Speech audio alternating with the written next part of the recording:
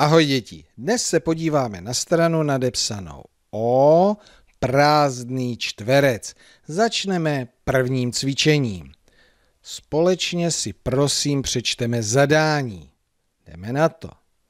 Napiš písmeno O, písmeno O. Dlouhé je tady čárka, tak to musíme protáhnout. Poprosíme Agátku, aby nám ukázala, jak se písmeno O píše. Tak kde začneme?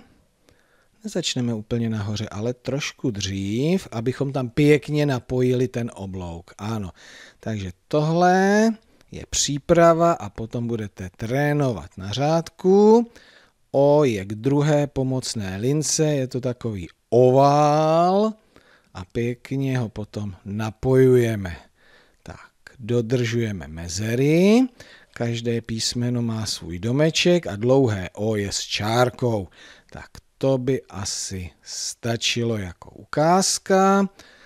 Pojďme do sešitu, takže vy si vezmete pastelky, několikrát různými pastelkami natrénujete O a potom se pustíte do řádku. Nezapomeňte, že ve druhém řádku píšete dlouhé O a prší od zhora. Držím vám palce, přerušte video a za chvíli si můžeme podívat, jak se to Agáce podařilo.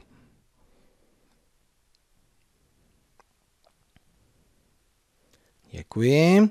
Takže Agátka je velice šikovná, ona píše pomocí stroje, takže jí se to podařilo takhle. První řádek krátké o, druhý řádek dlouhé o a pokud se vám něco nepovedlo, negumovali jste, nechali jste být, další o už bylo lepší. No a když už o umíte napsat, co kdybyste nyní vytvořili vlastní myšlenkovou mapu, ano, na slova, která začínají na o. Dejte se do práce.